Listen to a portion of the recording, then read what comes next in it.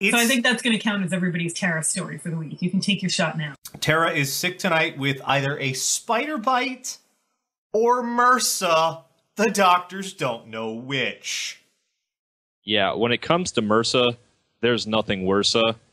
So I, I really sympathize for her. I've had it many times now. I just have MRSA living in me. It is awful. And the second she described her symptoms, I was like, "That's MRSA. That's oh, fucking shit. MRSA." Yeah, it's Yeah. it's a uh, it's a antibiotic resistant version of the staph uh, bacteria.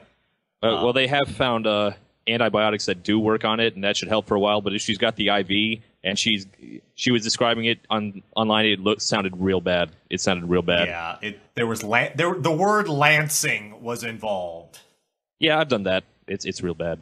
Saturday, I noticed this lump on my leg. It was like that big. Kind of hurt. It was red. So I was like, all right, I'll keep an eye on it. My sister's like, yeah, it's probably a spider bite. Okay. There was no fucking way I was missing an Afghan Whigs concert for it. So I was like, fuck it. I'll just wear leggings under the dress I'm wearing. Which was the right choice because it was an amazing concert. Unbelievable. So Sunday it's looking a little worse. It really starting to hurt. I'm like, all right. I have my sister look at it. She's like, all right, you know, if it's not better tomorrow, go to the ER. Monday, now this is two days later, it's this big. It's red and it's huge. And I'm like, well, okay, clearly something's wrong there. So I go to the ER. They look at it. They give me a dose of IV antibiotics, send me home with oral antibiotics. Tuesday, I take the oral antibiotics. It really hurt. Like I'm limping at this point because I have the it's like expanded and now and it's lumped like it's like raised two inches from my so you know I have a legit huge lump. By Wednesday, I could not walk, and it had formed a black abscess the size of the original lump. I had a black Lupus! abscess like this big. Lupus. So I went back to the ER. ER doc comes in, looks at me for I swear like ten seconds, and goes, "Yeah, we're gonna admit you." I'm like, okay. Yeah, I've never parts been of admitted to when- the hospital before. when parts of you start turning black, that's a good time to admit you to the ER. Yeah. So admitted me. I I saw so many doctors. I have I now have to follow up with a plastic surgeon, Mhm. a wound care specialist, an infectious disease specialist. Like so finally, you know, this is getting worse and worse and worse and it's oozing and it's disgusting. So finally this surgeon comes in to look at it and he goes, Yeah, it's gonna have to be lanced and drained and he says, Well, we can do this one of two ways. He said, You just had lunch, right? And I said, Yeah. And he said, Well, we'll bring you to the OR, you're gonna have to wait till tonight. Or we could just give you a local and do it right here. And you were in such pain, you were just like, fucking cut me open. It's like, well, okay. So they threw some morphine in my IV, shot the whole area of my leg full of local, and sliced my fucking leg open. And that's when I heard the worst two words I have ever heard in my entire life necrotic, Necrotic fat. fat. I didn't even know that was a thing, but it sounds amazing. That's a thing that can happen to you. That's you. a band Fat name. In your body can go necrotic and die and turn black. That is a screamo band name right there. So they clean all the crud out. Now, basically, and then they took a culture of the crud they took out of it, forgot to tell me, by the way, you have MRSA.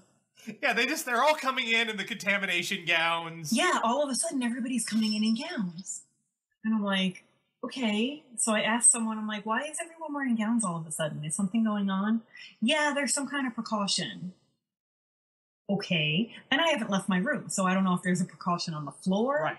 The day I the day I was admitted, they had the local news there because there was an Ebola scare locally. So it things better. What's going on? Finally, like 10 o'clock at night, I asked the night nurse, listen, all of a sudden everybody's wearing gowns. What's the deal with that? And she goes, oh, well, you're under contact precaution. What does that mean? And she's like, well, because of the MRSA. And I'm like, I have MRSA? Yeah, nobody told you that? No. No, nobody nobody mentioned that I have MRSA. That's a good thing to know. Thanks for the heads up. MRSA is, oh what's it? It's a MRSA. It's something Antibiotic resistant staph. resistant Yeah. staph, whatever. It's basically a staph infection that is resistant to your usual round of antibiotics. The good thing for me is I'm allergic to penicillin, which is the usual round of antibiotics that it's resistant to. So they hadn't even put me on that anyway. I was already on the, the serious shit. But so basically, the long and short of it is, it looks like somebody took a melon baller to my leg, like two inches below my knee. Yeah, when we say it, when you say it's 1.5 inches, it's not just across; it's also deep. It's about an inch and a half deep. So now my daily nightmare, my daily hell is I have to get this wound irrigated, packed, and dressed every day. Which means there's a bunch of antibiotic treated gauze stuffed into this bloody, disgusting raw hole in my leg. which hurts. Uh, well, it doesn't it doesn't so much hurt. Really, the leg doesn't hurt that much anymore. But the thing is, because it's antibiotic treated, it tingles pretty much all the time. Like you know that feeling of when you pour peroxide on a wound. Yeah, that that bubbly kind of. My leg feels like that all the time. on the inside, an inch inside my leg tingles all the time. Weirdest shit ever. Most people have to do some amazing drugs for that sensation. But once a day, I have to go and someone has to pull all that crap out, which is a horrible feeling. And then sometimes, if I'm really lucky, they poke at it with a Q tip, which is incredibly painful. Or like today, the doctor ripped off all the fresh scabs with forceps. Then they irrigate it, they pour salt water through it, and then they stuff more of that stuff in, and then wrap it all up. And that's my life right now. At least for there's I keep asking them like how long am I going to be doing this routine? And they're like well you know it has to fill from the bottom up. And I'm like yes I understand that. How long is it going to be red and oozing and like really painful if someone breathes on it? Well we don't really know. Okay. We don't know. It's a mystery. Us here with my medical nephew was like- science and. banned from my room because I'm infectious Aw. which my sister was so sweet. Like she was so worried about offending me, telling me that. She's like, I'm really sorry. I'm like, he's a nine year old kid. Like this happens to him. They chop off his leg. That's not- So he I- might I- think that's awesome for like 10 minutes, but it really he's isn't. offered to dress the wound for me every day. Aw. He watched them clean and dress it the day they discharged me, and he was actually disappointed that the hole wasn't bigger. Eight year olds are amazing. A hole in my leg the size of a ping pong ball was not enough to impress Nope. this little boy. So, And they only had Shasta cola. but you sent me Oh, lovely no. cookies and made some poor baker write sorry you're infectious on a cookie, well, you know, I've got. I, which a lot of the nurses got a kick out of. Like people would keep coming into the room and go, Does that say sorry you're infected? I'm like, yeah, it does. I have some weird friends. I got really cool flowers that were sculpted to look like a puppy. I got a weird bear that sings "You Are the Wind Beneath My Wings" because Dan kind of made friends with the gift shop lady because he's far away, so he would just call the gift shop and be like, "Send her something cute." So I got a little bear that sings "You Are the Wind Beneath My Wings," which Bridget is not impressed with at all. Um, but yeah, Pat, Pat today because my insurance isn't covering the visiting nurse care that I'm supposed to have every day to dress this wound, so we're figuring out what to do. He's like, "I could do it for you." I have a pocket knife. I'm a scout. I'm like, yeah, no, no, thanks. you're not covered on my insurance, Pat. Like, I. I, I love you. You're a sweet boy. You're you're out not- of. ne- Pat, You're not out- touching the hole in my leg. Pat, you're out of network. I can't. I'm Yeah. sorry. You're out of network. So, now, now I get the whole nightmare of insurance and the giant bills that are about to come, and however many months it takes for the hole in my leg to fill in. Because I'm going to have a hole in my leg for a really long time. And the plastic surgeon tried to convince me that I'm not going to have a scar. And I'm like, buddy, there's a hole in my leg. you just cut a hole in my leg. It's an inch deep and an inch across. Like, there's going to be a scar. Well, I actually went to the doctor today and he said it's progressing nicely, but it's still like an inch deep in one spot. So tell, still, tell tell people how they determine this. This is great. it's very scientific. Yeah. It's very difficult. So what they do is they take, you know, one of those long Q-tips with the wooden handle. They take one of those and they take the end that doesn't have cotton on it, and they poke it in your wound until it stops. They poke it with a stick. And then they pull it out and they measure the blood. It's a dipstick! They use Yes. a fucking dipstick! They they dipstick your wound to see Oh. how deep it is, and then they measure it. O- Uh, only it's They- blood. they literally poke it with a stick to determine how deep it is.